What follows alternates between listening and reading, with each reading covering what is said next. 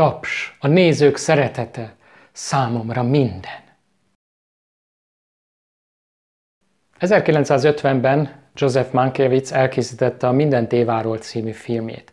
Ezt a filmet azért néztem meg, mert ez volt az egyik inspirációja Álmodóvár Mindent anyámról című filmjének, és nem bántam meg, tényleg fantasztikus film, nagyon jól mutatja az 1950-es évek színházi világát, annak is a hátterét, amit a nézők nem láthattak, a rendező, a szerző, a producerek világát, és azoknak a színészeknek a karrierjét, akik a semmiből megjelenve óriási sikereket értek el.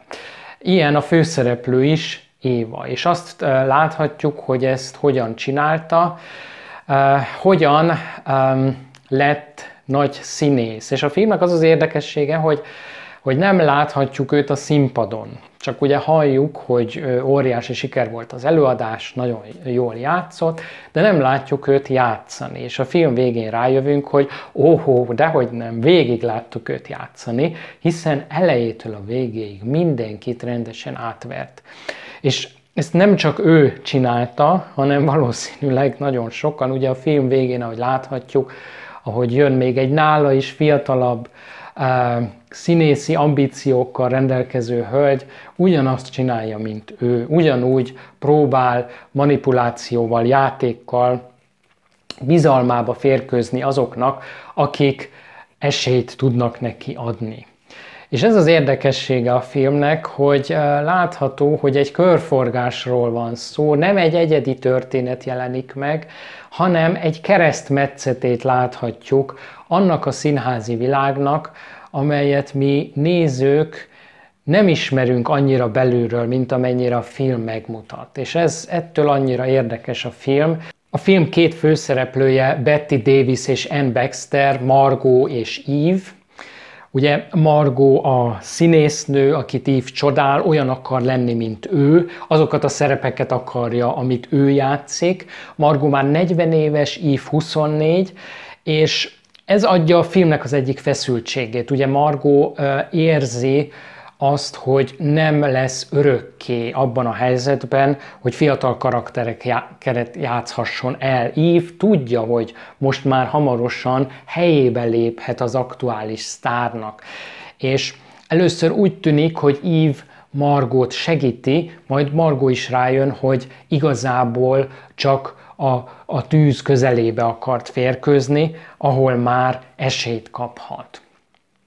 Ugye férje, eh, Bill a, a darabjainak a rendezője, illetve még a film elején nem férje, közben kéri meg a kezét, de már jó ideje együtt vannak, és van a történetben egy másik pár, a daraboknak az írója, aki Lloyd, és az ő felesége Karen. És a filmnek az egyik érdekessége, hogy Karen úgy került a színházi világba, hogy az egyetemen Lloyd az írónak az óráit hallgatta, majd vele összejött, és így bekerült ebbe a pompás felső körbe. És ő segíti Ívet bekerülni Margóhoz. Ő az, aki talán kicsit magát látja benne, talán kicsit azt a lányt, akinek soha nem lett volna esélye ebbe a világba bekerülni, ha nem segíti valaki, ha nem veszi valaki szárnyai alá. És Karennek igen nagy befolyása van férjére, aki abban az időben a legnagyobb író, a színházi darab író volt. Tehát e, igen, jól tudja egyengetni Ívnek a kezdeti lépéseit. És az is érdekes, hogy Karennek e, Margó nagyon jó barátnője, de mégis bosszantja Margó eh, cinizmusa és állandó veszekedései, és igazából kicsit eh, meg akarja tréfálni.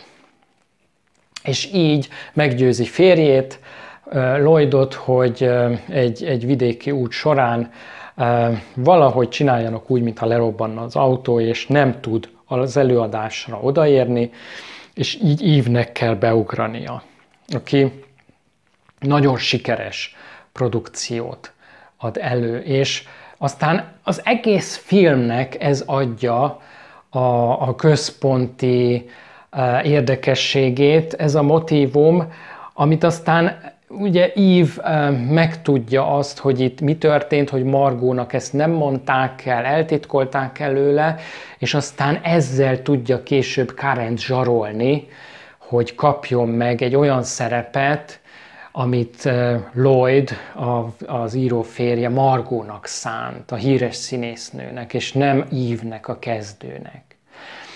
És amikor ezt megkapja, akkor ugye ezzel egy, egy óriási díjat is nyer, amivel az egész film kezdődik. Ennek a díjnak az átadásával, és ott még csak azt mondják, hogy majd ívről később mindent megtudunk. És valójában a film arról szól, hogy, hogy Ív személyisége, személye, és az az elképesztő vágya a sikerre, megnyilvánul, hiszen nem is, nem is igazából évet ismerjük meg, hanem, hanem azt a minden elsöprő ambíciót, ami benne van, amivel képes mindenen és mindenkin átgázolni, hogy sikeres legyen, hogy elérje vágyát, hogy elérje célját. És nagyon-nagyon érdekes a film a karakterek miatt, a, a folyamatos feszültség miatt, a zsarolás, a titkok, és minden olyan dolog, ami a mi életünkben is megjelenhet, ha akár más formában is, de azt a mondást idézi, amit Shakespeare mondott, színház az egész világ, és színész benne minden férfi és nő. Ha tetszett a filmelemzés, akkor kérlek iratkozz fel a csatornára, lájkold a videót, hamarosan jelentkezünk. Sziasztok!